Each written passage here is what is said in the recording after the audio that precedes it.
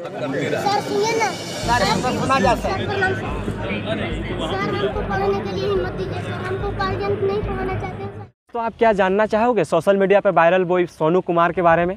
अगर जानना चाहोगे तो मैं बताने का कोशिश ज़रूर करूँगा। सोनू कुमार एक मिडिल क्लास फैमिली से बिलोंग करता है जिनके पास ना पैसा है ना कुछ है लेकिन उनका सपना बहुत बड़ा है। आई ऑफिसर्स बनना चाहता है। एक दूध बेचने वाले का बच्चा जब आई का सपना देख सकता है तो हम क्यों नहीं देख सकते?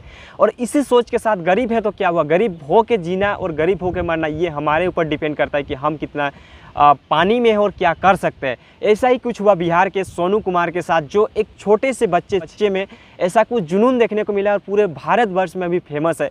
तो चलिए उनके बारे में कुछ अधिक जानकारी लेते हैं। इससे पहले आप कुछ वीडियो क्लिप देख लीजिए कि क्या कुछ सर हमको सुना जा, सर। सर हमको पढ़ने के लिए हिम्मत दीजिए सर। हमको नहीं पढ़ाना चाहते हैं सर। दोस्तों जिस उम्र में बच्चे की सोच तक डेवलप नहीं होती है उस उम्र में उन्होंने अपना फ्यूचर को ही डिसाइड कर लिया है कि मुझे आगे जाकर बनना क्या है।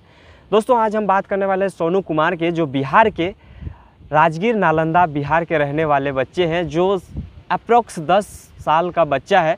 जिनका डेट ऑफ़ बर्थ मैं बता देता हूँ एक एक 2011 में उनका जन्म है। बायोग्राफी क्या है? कैसे फैमिली से बिलोंग करते हैं? दोस्तों इनके बारे में बताने से पहले मैं इनका पूरा बायोग्राफी को आपको डिस्कस करता हूँ। इनका नाम है सोनू कुमार जो बिहार के रहने वाले हैं। इनका ऐसे फैमिली से बिलोंग करते हैं जिनका पास नो तो ज़्यादा पैसे है और ना ही अच्छे अच्छे स्कूलों में पढ़ने की क्षमता है।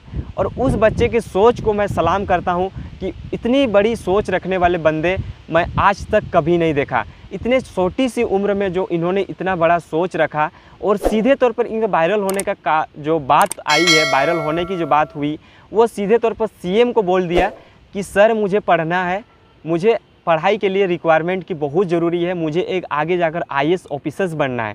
सुनिए नीतीश कुमार जी को क्या कहा बिहार के सीएम को सीधे तौर पर क्या कहा? सर सुनिए ना। सर, हमको सुना जा, सर। सर प्रणाम सर सर हमको पढ़ने के लिए हिम्मत दीजिए सर। हमको उपार्जन नहीं पढ़ाना चाहते हैं सर।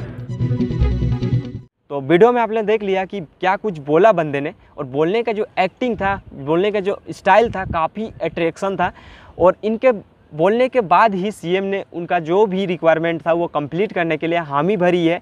और ये बंदे आई ऑफिसर्स बनना चाहता है और इन दोस्तों, इस बंदे की फ़ेमस होने की जो जगह मिली ना, काफ़ी अच्छा था। बता दूँ कि बिहार के सीएम नीतीश कुमार जी किसी कार्यक्रम के दौरान उनके गाँव गए हुए थे और गाँव गए हुए थे, उतने भीड़ के बीच में उन्होंने सीधे तौर पर ये सोच कैसे डेवलप कर लिया कि मैं अगर यहाँ बोलूँगा तो मेरा बात को आगे रखा जाएगा। तो उन्होंने सीधे तौर पर वहीं पे बोल दिया कि सर मुझे पैसे की बहुत ज़रूरी है आपकी साथ की बहुत ज़रूरी है मुझे शिक्षा की बहुत ज़रूरी है क्योंकि गवर्नमेंट स्कूल में अच्छे शिक्षा नहीं मिल पाने के कारण मेरा सपना साकार नहीं होगा। जिसके चलते सीएम को सीधे तौर पर बोल दिया तो सीएम ने भी हाँ ही भरी और बोला ऑफिसर्स को जो भी रिक्वायरमेंट हो इसको कंप्लीट किया जाए और करने के बाद ही इनके बच्चों इन बच्चों का भविष्य के साथ किसी के साथ खिलवाड़ नहीं हो। इसके लिए सीएम भी अपना अहमियत दिखाए और दिखाने के बाद उन बच्चों को अपने तरफ़ से जितना भी आ, रिक्वायरमेंट है, वो कंप्लीट करने के लिए हाँ कही है। दोस्तों, ये जो बंदा है, काफ़ी फ़ेमस है, हुआ है अभी के टाइम में और न्यूज़ चैनल में पूरी तरह से पूरे इंडिया भर में चर्चित है अभी के टाइम में और इनका फैमिली बैकग्राउंड काफ़ी नाजुक है, बहुत ही दयनीय स्थिति है फैमिली का बैकग्राउंड पापा हैं, मम्मी हैं और सोनू कुमार जी हैं, और भी कोई है तो मुझे नहीं पता, पर इनके बारे में और भी ज़्यादा हम जानते हैं। इनका फैमिली बैकग्राउंड बता दूँ कि इनके पापा दूध बेचने का काम करते हैं घर घर जाकर दूध बेचते हैं और दूध बेचकर इतना बड़ा वो पैसा इकट्ठा नहीं कर सकते कि वो किसी आ, प्राइवेट सेक्टर में पढ़ा पाए प्राइवेट स्कूल इंस्टीट्यूट में उनको एडमिशन करा सके और उनका जो सपना है उसको साकार कर सके। इन्होंने उस बंदे ने ही सोचा कि मुझे कुछ ना कुछ तो करना ही और करने के बाद ही मुझे अपने चैन का नींद सोना है। दोस्तों इनके बारे में और कुछ भी जानते हैं ये बंदा सिक्स क्लास में पढ़ता है और सिक्स क्लास के पढ़ने के साथ साथ ही वो फाइव तक के बच्चों को पढ़ाता भी है।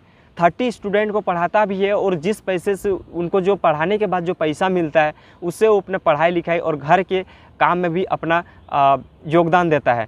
दोस्तों, ऐसे बंदों बहुत ही कम नज़र आते हैं, क्योंकि इतने बड़े बड़े उम्र में भी कोई कुछ नहीं कर पाता, लेकिन 10 साल की उम्र में ही उन्होंने इतना कुछ कर दिखाया, जो एक बड़े आदमी को सोचना पड़ता है कि करें तो क्या करें।